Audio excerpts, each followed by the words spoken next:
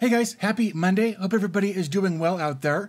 Uh, today I want to take a look at a Docker container uh, that uh, was kind of brought up when I was searching through Reddit over the weekend. Somebody said that they were having a hard time getting Open Project installed in their Docker setup. So I thought I would just take a couple of minutes to go through the process of installing uh, Open Project in Docker. Now, if you're not familiar, Open Project is a project management software uh, that's actually pretty involved. It's pretty in depth.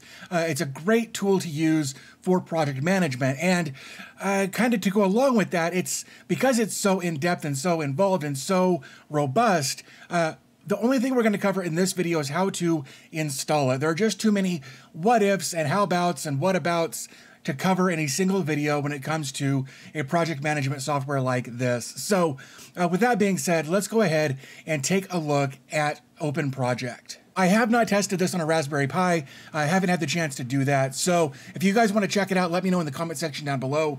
If you got this to work on a Raspberry Pi, that would be amazing. So here is the homepage for Open Project. And uh, this is going to be a great resource of information. Uh, if you want more information about the project or, or, or, sorry, about the software or whatever the case may be, uh, definitely check out this website. I will have it try. I will try to have it linked in the description down below.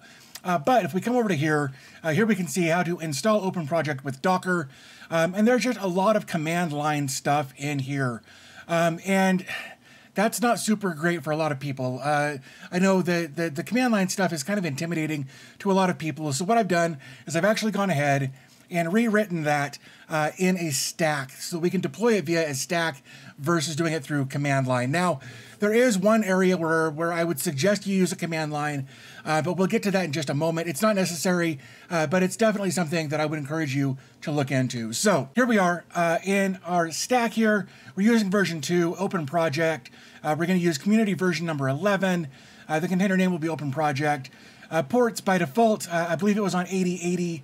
Uh, yep, but we're going to change that to something else because there's a lot of stuff that tries to run on 8080 unless you change it. So I'm going to change it. Uh, PUID, PGID, those weren't in there, but uh, it can't hurt anything, right? So below that, we've got a, a secret key base. Uh, this we will want to change. This is that, that command line thing that I was talking about a moment ago, but we'll get to that in just a moment as well. Um, and then uh, we've got a couple of volumes here, one for configuration, one for assets. Uh, you can kind of map those wherever you'd like to store those on your server, but here's where I'm going to store mine. And then below that, we've got a restart unless stopped. You could change that to al always if you wanted.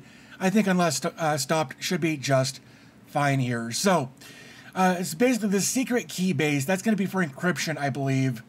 Um, let's see if it actually says anything here. Okay, so it doesn't look like it actually says what the secret is for.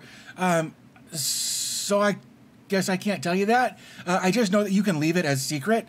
Uh, you know, like it's uh, well, like it like it's written uh, right here. You can do that. That's probably fine. Though probably not terribly secure if that's what it's for. Uh, but what we will want to do uh, in that case, and I will have this available in the link or as a link in the description down below as well. Um, if we come over here, um, oops, that was me doing some cleanup a moment ago.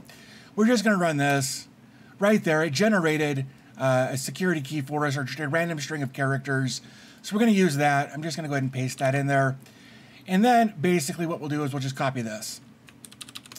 Again, all of this will be available in the link in the description down below. Man, I'm having a morning. So let's go over to here. Let's go to stacks. Let's add a new stack and just paste this in here. Uh, I'm going to copy that over for the name. And basically at this point, we should be good to go. Uh, all of this looks good. Oh, except that we want to change this. I'm just going to change it to 7070. I know that I don't have anything on 7070. So uh, I'm going to go ahead and run it on that. Now, I've already downloaded the image for this. In fact, if I come over here, and scroll down, we can see Open Project is right there. It's unused. That's the image I'm using. I've already downloaded it, so this part's going to go pretty quickly. Uh, you have to go through the process of downloading everything first, uh, but that's just why I've already downloaded it. So when I click uh, deploy the stack, this should go pretty quickly. There we go. So I'm going to go to containers. Right there's Open Project. I'm going to open this up. And now this part is going to sit here for a while. It's got to go through a bunch of stuff uh, to do the initial setup for everything. Uh, so basically, at this point, uh, we can just kind of hang out, um, you know, maybe grab a cup of coffee, uh, go go do an errand, whatever the case may be. This will take a while, so uh, when it's done, we'll come back and take a look. Okay, so now that this is done, I've actually was doing some testing in another window to make sure it was up and running. Uh, it looks like we're good to go. So what we'll do next is come over here to Portainer. We'll go to our containers here. Right there, open project is at the top, says it's running. So what we'll do is we'll just click right there. And here is the home page. And uh, even this, I feel, is a bit overwhelming. Uh, we're not even logged in yet, and this is our home page. So if we want to get logged in, I believe if we come over to here, uh, somewhere, there it is. Log, log in is admin, admin. So uh, what we can do is come up here to the top right, type in admin, and admin.